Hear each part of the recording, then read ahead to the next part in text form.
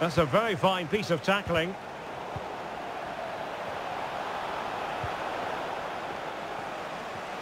Oh, managing to beat him. And a useful cross. Will it happen for him here?